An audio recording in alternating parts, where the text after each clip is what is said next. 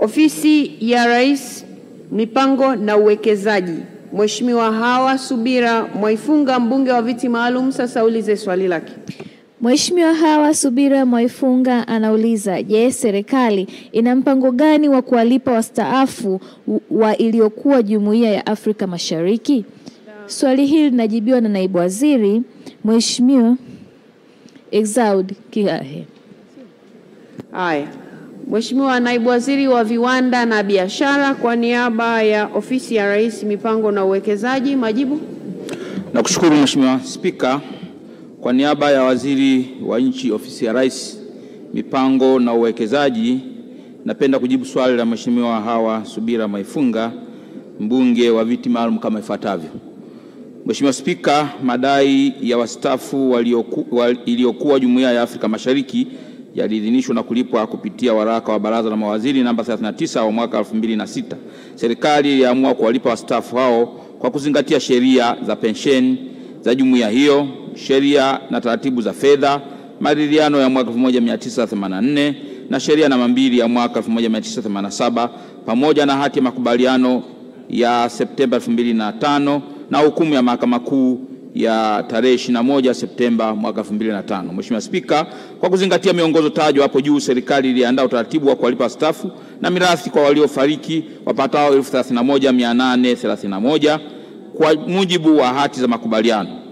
Zoezi hilo lilifanyika kwa kipindi cha miaka minane kuanzia Julai 2006 hadi Novemba 2013 lilipofungwa rasmi. Mheshimiwa Spika, kwa sasa serikali inaendelea kulipa pensheni za kila mwezi kwa staff ambao hawakuwa kwenye mpango wa kuchangia ambao walirejeshwa na kusajiliwa katika daftari la malipo ya pensheni ya kila mwezi.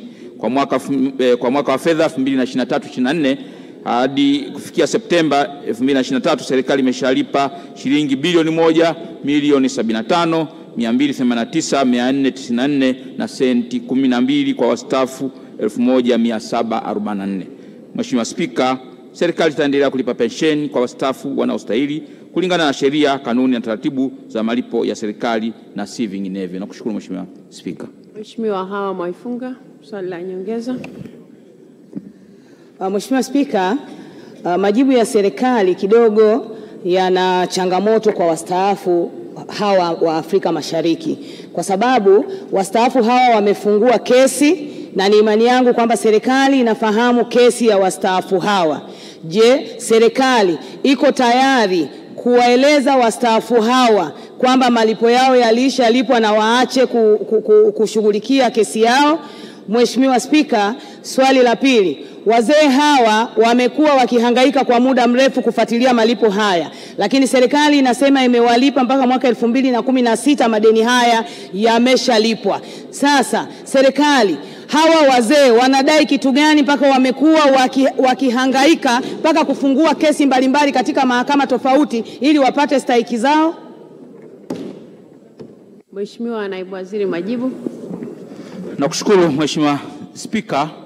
Uh, ni kweli kama alivyosema eh, wastaafu hawa ambao kwa kweli kimsingi kama nilivyosema kwenye jibu la msingi walishalipwa, na imekuwa ni tendency au kawaida kila kunapokuwa na, na serikali mpya au regime mpya wanafungua e, e, madai e, katika mahakama yetu kudai malipo, lakini kimsingi e, serikali tumeshasema na tunaelekeza tena kwamba kwa kweli wa, wa, waelewe kwamba walishalipwa na hakuna kingine zaidi, kwa sababu tayari tushamaliza kama nilivyosema. Kwa hiyo wasiendelee tena na, na madai ambayo kimsingi hayana, hayana ukweli. Lakini Mheshimiwa Spika, hawadai chochote kama tulivyosema walishalipwa kila kitu, na tunachoendelea kulipa sasa ni pensheni kwa wale wachache ambao wanastahili kulipwa pensheni. Mheshimiwa Spika, nakushukuru. Mheshimiwa Waziri wa Nchi, nilikuona umesimama. Mheshimiwa, ni, ni, ni, ni, nashukuru kwa nafasi ni kuweka tu msisitizo kwamba wananchi wetu wana haki ya kwenda mahakamani wanapoona wanaweza kupata haki zaidi, lakini kwa maana ya serikali, serikali ilishahitimisha mchakato huu kwa barua na waliandikiwa barua ya tarehe 31 Disemba 2013 ya katibu mkuu Wizara ya Fedha, wanayo lakini hiyo haizuii wananchi kuwa na haki ya kwenda mahakamani. Kwa hiyo serikali haiwezi kuzuia wananchi kwenda mahakamani, lakini kwa maana ya mchakato ulishafanyika ukahitimishwa kwa barua na iliandikwa. Asante Mheshimiwa Spika. Mheshimiwa Zaituni Swai, swali la nyongeza. Asante sana Mheshimiwa Spika. Je, serikali ina mkakati gani wa kuwasaidia na kuharakisha malipo ya waliokuwa wafanyakazi wa mashamba ya maua ya Kiliflora ili kupisha mwekezaji mpya? Asante sana Mheshimiwa Spika.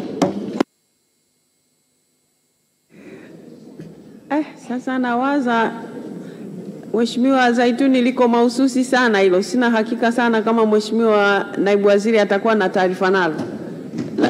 Unazo taarifa zake Mheshimiwa, ama nikupe nafasi utaonana na Mheshimiwa mbunge? Ya, nitamwona Mheshimiwa Zaituni swali, lakini pia kama itakuwa kuna ulazima basi alete swali la msingi.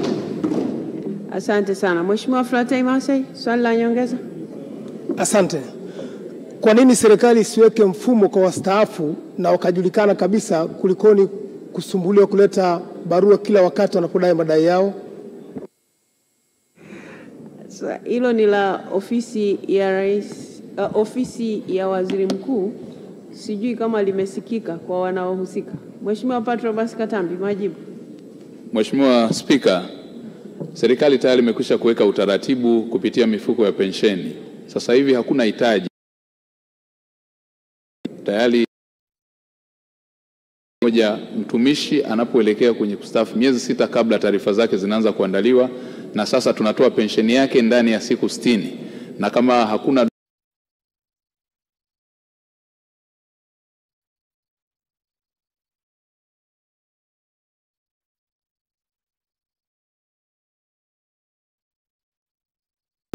Mheshimiwa wa, Waziri wa Mipango na Uwekezaji, hii taarifa kuhusu hao wastaafu wa, wa iliyokuwa Jumuiya ya Afrika Mashariki ya wakati huo wako nchi nzima, na wabunge hawa sijui kwao pengine hawapo, wako kila mahali, hata kwangu wapo. Na haya madai kama ni kweli hawana, nafikiri kuna namna ambayo taarifa haijawafikia kwa uhalisia kwamba hamna chochote. Kwa nini? Kwa sababu sawa, ni haki yao kwenda mahakamani, lakini kama walishalipwa na kila kitu tayari, nafikiri ni vizuri wakawa na hiyo taarifa, ili anapoenda ajue anapoteza nauli ya kwake mwenyewe, lakini kuliko kupoteza nauli kufuatilia kitu ambacho hakipo. Kwa hiyo sijui mtatumia namna gani, pengine hizo barua hazikuwafikia, mfanye utaratibu ziwafikie, pengine kut, kwa kushirikiana na TAMISEMI mshushe kule mikoani, mikoani, wilayani, hizo taarifa ziwapate wale watu, kwa sababu kwa kweli wanazunguka sana kutafuta hizo haki. Sasa kumbe hazipo, ni vizuri hiyo taarifa ikaenda vizuri, ili wasiendelee na hayo, na hayo mahangaiko. Wizara ya Uchukuzi, Mheshimiwa Asha Abdullah Juma.